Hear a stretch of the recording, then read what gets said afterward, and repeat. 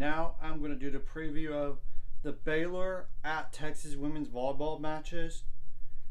And I'm saying matches because it's back to back matches against Texas on October 26th at 7 p.m. Central Time on FS1, and then the same time on October 27th, but on the Longhorn Network.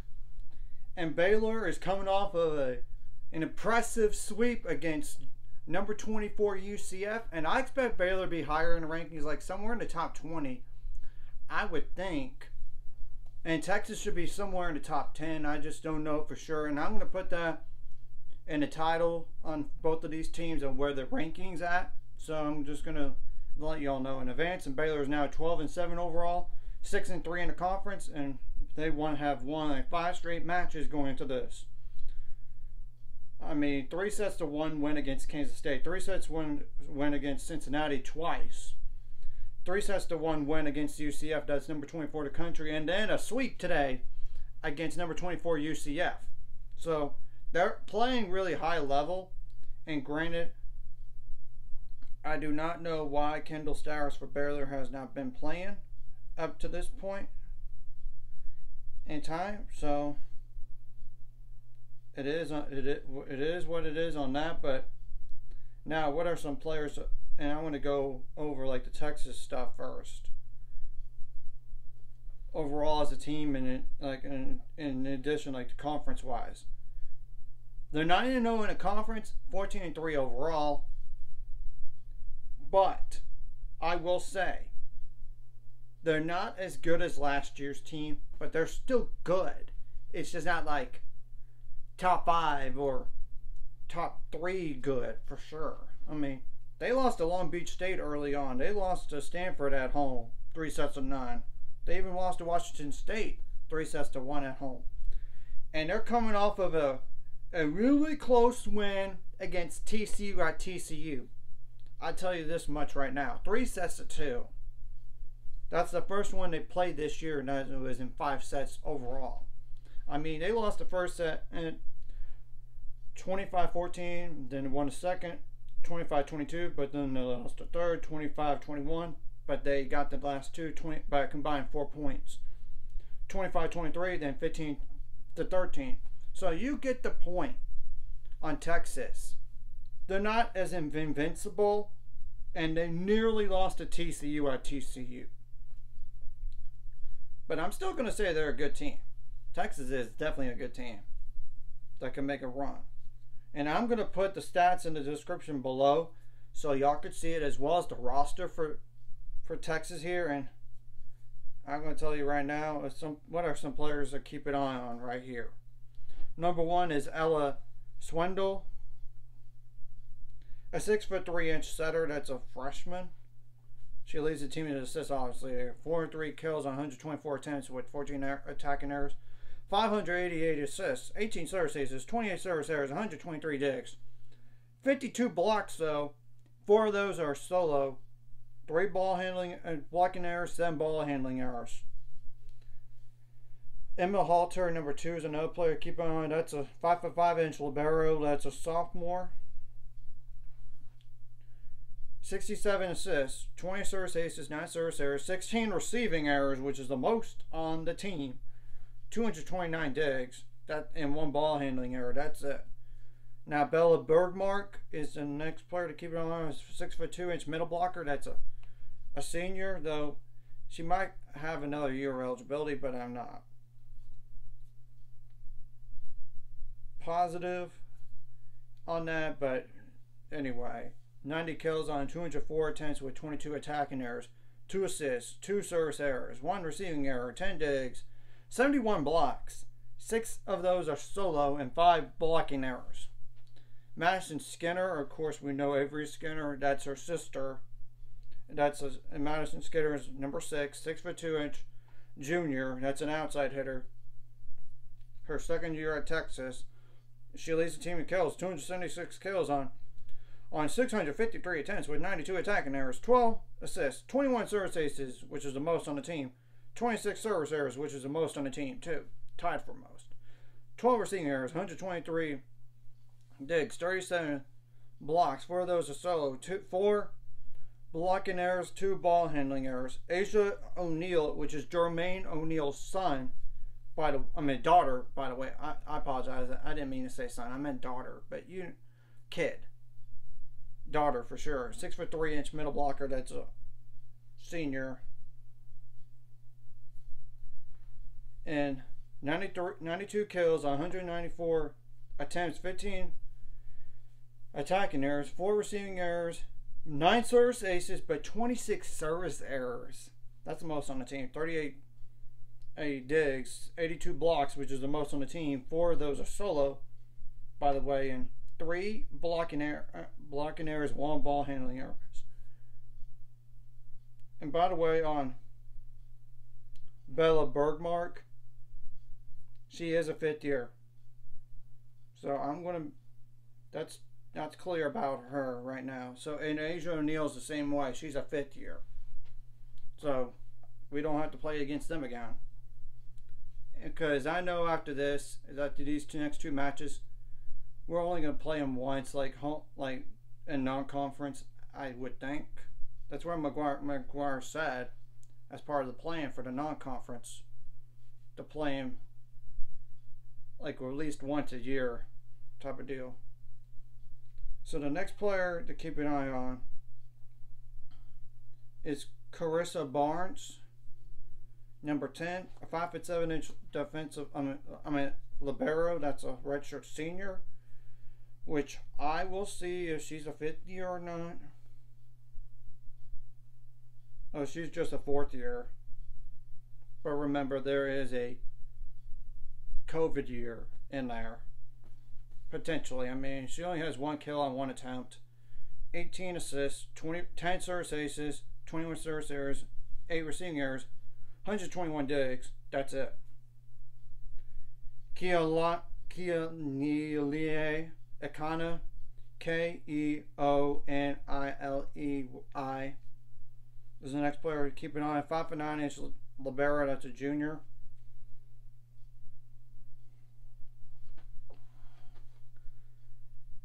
No kills on two attempts, 27 assists, 17 service aces, 20 service errors. 12 receiving errors, 99 digs. That's it. Jenna Wenas, W E N A S. And I apologize if I butchered that name. And it's a six foot one inch outside hitter. That's a junior. 167 kills, which is the most on, second most on the team, by the way on 486 attempts, which is the second most on attempts. 66 attacking errors, 5 5 assists, 1 service error, 5 receiving errors, 37 digs, 28 blocks, 4 of those are solo, 1 blocking error. Molly Phillips, number 15, is the next player to keep an eye on. A 6 foot 5 inch opposite, uh, that's a senior, which, once again, I don't know. It's a COVID senior or what, but if she has a COVID year or not, well, I'll have to wait and see after I say all the stats here. 76 kills on 226 attempts, 31 attacking errors, one service ace, one dig. That's it. And the last player to keep an eye on is number 44, Devin Kaha Hawaii, or something like that. I apologize. K A H A H A I'm going to start over again. K A H A H A W A I. And by the way, Molly Phillips is a fifth year, so yeah, she's done after this too. And six for four, and Devin is a six for four inch outside hitter. That's a sophomore, by the way. That is a yeah outside six foot four inch outside hitter. That's a sophomore, and she's only played 28 sets this year. I'm just going to point that out right there. 40 kills, 121 attempts, 22 attacking errors, three assists, 12 digs, 16 blocks. Two of those are solo. Three block blocking errors. I'm going to say this up front about you can't go in there and just look at the jersey and say, we're automatically going to lose. First of all, TCU nearly beat them. And second of all, They have lost twice at home, but granted, it's against Washington State and Stanford. I know. And you just cannot let that mentally get into your head about this match. And I don't know whether or not Kendall Stowers for Baylor is going to even play in this match. If she doesn't play, you got to have Riley Simpson step up like she did in the UCF match today, and she stepped up big time. You got to have all the other players step up and do their roles individually. I would also say across the board, limit your errors, especially the attacking ones. The service ones, it's important to serve well, and I, eh, of course, it there is some risk with when you try to get service errors, particular. I mean, service aces particularly. If you know what I mean, you just got to be aggressive. Of course, we we have to make. Of course, I don't want to play safe on the serves either. Don't give them so much time. But you get the point. And all this, you gotta serve well and keep Texas, uh, get Texas uncomfortable in this match offensively. I would obviously say that. And you got to play solid defense across the board in this match and play with nothing to lose. It's simple. Though I will say you got to have good passing in there. That would help, especially against Texas. And you want to set up your kills, of course. You want to vary up the offense and have good transition offense, too and you kind of have to make adjustments on the fly, not just from match one to match two, but during the match as well. And of course, you got to do well on side outs because those aren't important. We don't want to let Texas be so good on side outs either. I'm just telling the truth in that, by the way, and I know what we did over the weekend against UCF is pretty impressive. After losing our first set against UCF in the first match, we won six straight sets against that team. That's impressive. But I will say Texas is a higher level. Like we got to come out with energy from the start. Of course, you got to be consistent throughout. I'm just telling the truth, and we don't want to have like out of rotation stuff. Of course, we don't want errors. We want to reduce that as much as possible. Of course, you got to be smart with that too. And if Kendall Stowers does play, that would be helpful. But even without her, we gotta have other players step up. In a serving category, the passing category, you gotta dig every ball. Of course, have a little variety on offense because we don't want to be so predictable. And if one, if they're gonna take our outsides away, attack through the middle. But if they take the middle away, kind of like the UCF match a little bit, they were jumping on it. We go to the outside. I mean, and try to attack from the, like from like, and not just straight through the middle like in terms of like straight down the line here. You know what I'm talking about, like when the middle, like feed the ball at the middle position, you go that to the left or to the right. And of course, you could still swing towards the middle, but at a different angle, of course, go down the line or tip or spike the ball. But of course, like I said, you gotta have your you gotta serve well in this match. You gotta scrap hustle every and try to get every ball you can against Texas, and you cannot let that home crowd environment for Texas get into your heads and let and try to intimidate you because you don't want to be intimidated. That's the last thing you want to do. You gotta go out and do what you can. And I know this is a stat that's insane. In the Big 12 format, when they have played back-to-back matches, Ryan McGuire is 17 and one. The only one loss he's had is against Texas. So just take it away uh, as you will. But he does make adjustments pretty handily. I mean, does pretty good, and his staff as well on making adjustments from match one to match two. But I know this is possibly a hard match here, and we had never won in Austin before. Baylor hasn't. But why not do it? And the last year of the Big 12 when Texas is going to have be in a conference here, why not? You got to play with nothing to lose. You got to not let Texas get comfortable at all and make and try to take away their best players as much as possible or try to limit the other players as well and try to not make them as efficient. Of course, you don't you want to block them as much as possible. Of course, you want to limit their blocks on you. So I'm just telling the truth and all this, and I'm like I said before, I am going to put the roster and the stats on Texas in the description below so y'all could see it because it's important to know some of these players.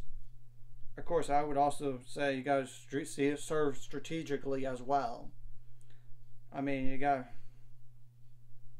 do that, and of course, you want Texas get out of system. Of course, if there's a free ball for Texas, you got it, and it comes to us, you got to take advantage of it.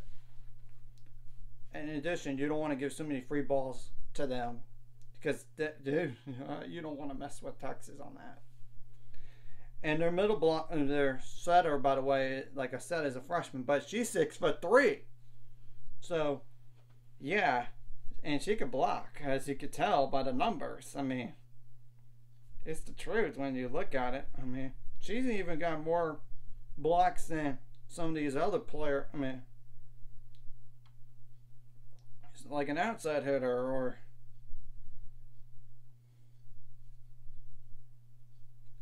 you know, outside hitters and even opposites. She's got that many, a little bit more in blocks. Of course, you don't want to have blocking errors. Like I said, you got to limit your errors across the board and try to play as clean as possible in this match. So let's go in there and play with nothing to lose and be the aggressor and make them on the defensive with or without Kendall Stowers in this match. Of course, like I said, you got to make adjustments on the fly, not just during the match, but from game match one to match two. And this is a good test for us where we're at with or without Kendall Stowers and where we could improve going forward because the schedule does line up after Texas. I mean, they got Oklahoma the following week, and then Texas Tech, they're not ranked. The same thing goes for TCU. You even played them twice. Before then, your last like, then your next possible ranked opponent at Kansas, and that's even on the road. Then you got a home game against West Virginia, Houston at home. So really, two more ranked opponents after this. So, but even then, you get Houston at home, and that's the very last match of the year, and that's helpful. I mean, it is very helpful to have that. And granted, I know Kansas is on the road, but we'll get to those other matches when I it comes closer. By the way, I'm just saying that because look, it's a good way to see where you're at, regardless, and improve from not just from match one to match two, but going forward as well. And let's try to get a good quality win to help us get a potential top 16 seed at this point. I mean, that's the truth. And it would help the RPI as well. So, and of course, we got to take care of business against teams that we should beat. In addition, like get some quality wins like Kansas and Houston, maybe even Texas, but I'm just saying maybe because I'm not positive about that one. But you get the point. You got to take care of business against teams that you should beat. And then you got to beat Houston and, and Kansas to help getting more ranked wins in there. And let's try to take be keep this momentum going where we have here into the next match. Matches against Texas and then we'll improve from there for the rest of the year. So anyways, if you like this content, like and subscribe and see you guys later on the road to 600 subscribers. Of course, the ultimate goal is a thousand, so I can make we can make money off of this. Of course, liking the video, commenting the video really helps the YouTube algorithm so more people can see it. Of course, if you're watching and you're not subscribed, please subscribe and of course hit the notification bell. If you have subscribed but not hit the notification bell, please do so. Because sometimes you just don't get notified. It's important to get to notify which video when it occurs. I know sometimes it has some glitches here and there, but you get the point. And I would greatly appreciate y'all if y'all would share the video as well. So that's all.